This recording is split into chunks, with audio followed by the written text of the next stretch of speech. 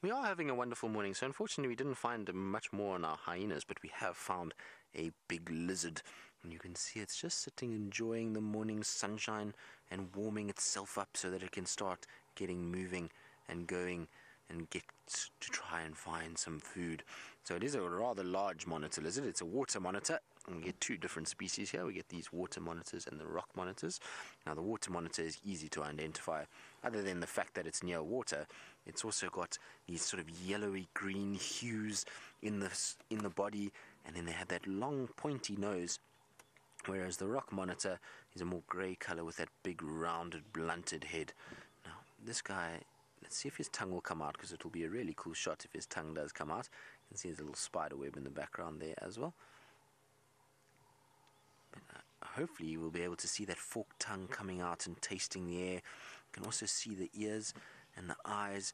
And this is a really sort of unusual for us because we don't typically get this close to them right out in the open. Generally they scurry for some sort of vegetation. And so to be able to actually see him out in the open like this is really, really cool. There we go. Where's the tongue? Come on, stick your tongue out. They'll use that tongue just to be aware of their environment, so they taste the air and they kind of will put it out to be able to see what's around them. In this situation, he can actually see us, so we don't have to worry too much with the tongue. They can be able to use the ears to hear me and the eyes to see me because of the proximity that we're at. That monitor lizard is probably, I would say, no more than 10 meters from where we are and it's just giving us the eye. And I think the reason why it's sitting there and not moving is because it doesn't really have many places to go. We're on top of the dam wall, and there's only the water behind it, which it could potentially go into. But given that it's still quite cool this morning, I would imagine the water itself is quite cold. And so rather than doing that, might as well just use his camouflage. And look at how well they actually do camouflage. Can you imagine if that head was down and it was just sitting dead still? It would become quite difficult for us to actually see that monitor lizard, but luckily its head is up, which made life a little bit easier. Now you can see, look at the size of those feet as well. What people don't often realize with these monitor lizards is just how bulky their legs and feet are. It almost looks like a dragon's foot, doesn't it? It's really big and thick, lots of muscles there, and then those big long claws that it uses to help grip its terrain when it's climbing. Remember, these are really good climbers. They'll be able to go up trees and up these sort of steep banks that are slippery sometimes with mud, and those claws all just provide the traction to be able to get up there.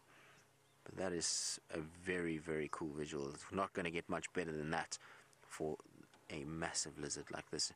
Now you can see the body kind of goes backwards and then there is a massive tail as well. There's the back legs and then look at the thickness of the tail. M huge amounts of muscles there that are able to propel this lizard as well as to defend it. So not only will they use that long muscular tail to be able to swim with, you can see it still goes around the corner there, that's quite big. Um, they'll use that to be able to swim and propel themselves in water, but if they're attacked by something, they'll also whip with that tail, and you can imagine with a long, thin end how sore it must be if it actually hits you. And so they'll try and defend themselves with that long whip like tail from time to time. They also have the most incredible bite on them, serious force when they bite down. And so you don't want to be on the wrong end of one of these guys.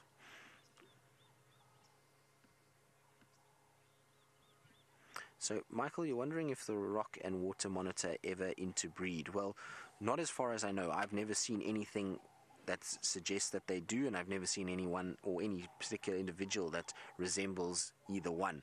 So, as far as I know, no, they don't.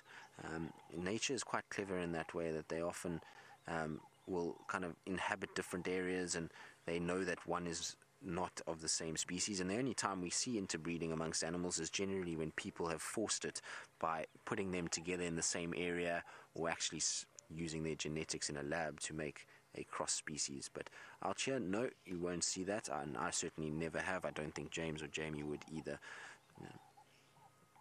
What's going on? What, are you alert to us? I think it wants to move, but it's kind of trying to use that tactic of staying dead still in order for us not to notice that it's there.